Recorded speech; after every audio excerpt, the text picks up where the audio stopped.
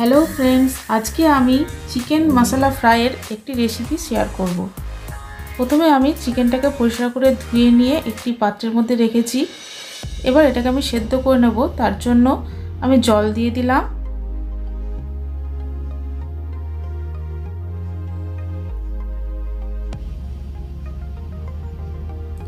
এবার নুন দিয়ে দিচ্ছি। হলুদ দিয়ে দিলাম।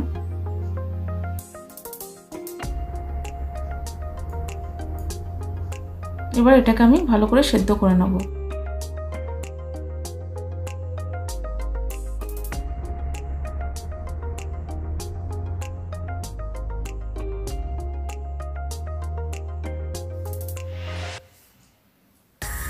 চিকেনটা আমার ফুটে উঠেছে। এবার এটাকে আমি নামিয়ে নেব। কড়াইতে তেল দিয়ে তেল গরম করতে দিয়েছি।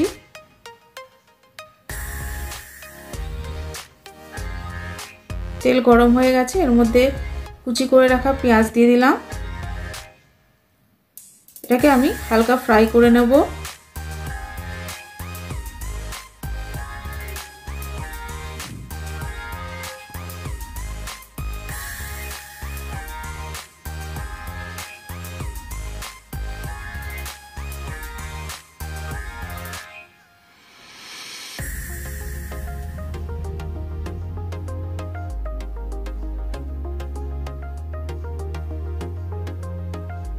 এবার এর মধ্যে আমি একটু নুন দিয়ে দিলাম যাতে পেঁয়াজটা তাড়াতাড়ি ভাজা হয়।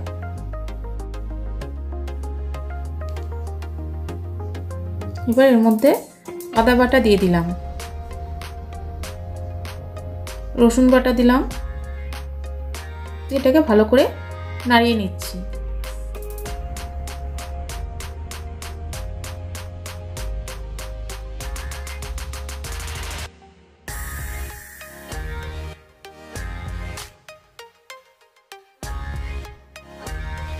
মশলাগুলো আমার ভাজা ভাজা হয়ে গেছে।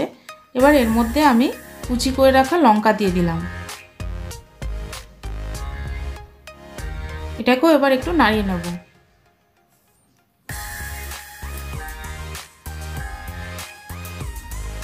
এবার এর মধ্যে আমি কুচি করে রাখা টমেটো দিয়ে দিচ্ছি। টমেটোটাকে ভালো করে কষিয়ে নিতে হবে যাতে এর কাঁচা গন্ধটা চলে যায়।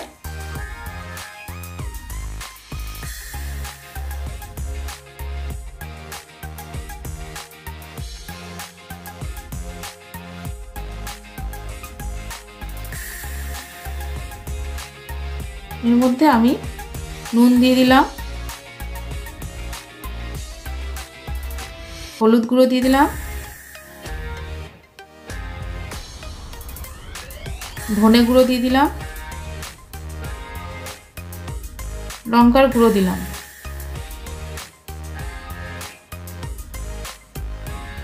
দিয়ে এটাকে ভালো করে কষিয়ে নেব, যতক্ষণ না পর্যন্ত তেল বেরিয়ে আসছে।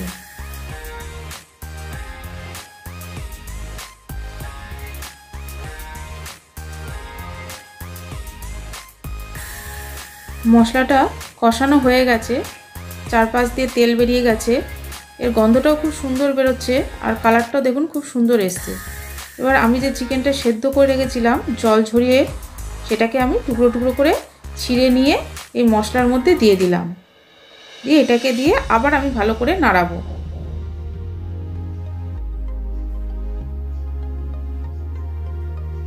এটাকে নাড়ানো হয়ে গেছে, এর মধ্যে আমি আর একটু নুন দিলাম। গোলমরিচ গুঁড়ো দিয়ে দিলাম।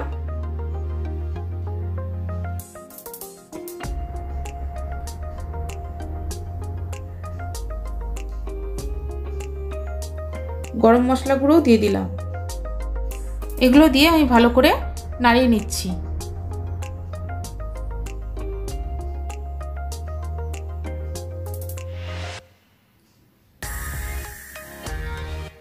এবার আমার যে চিকেনের স্টকটা ছিল সেটাকে আমি কিন্তু ফেলে দিইনি।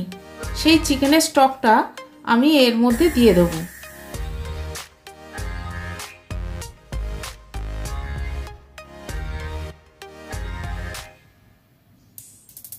এবার আমি এর মধ্যে চিকেনের স্টকটা দিয়ে দিচ্ছি।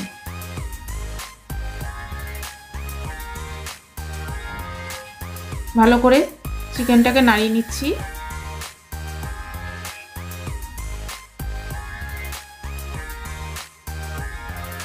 এবার এটাকে আমি কিছুক্ষণের জন্য ঢাকা দিয়ে দেব। কিছুক্ষণ পর আমি ঢাকা তুলে দেখ, দেখব। দেখতে পাচ্ছি এখানে চিকেনটা হয়ে গেছে।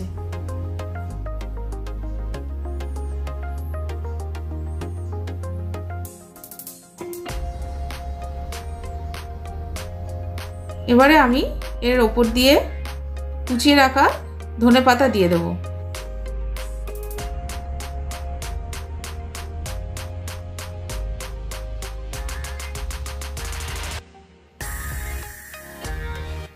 আমি আবার ধনে পাতাটাকে এর সাথে মিশিয়ে দিলাম।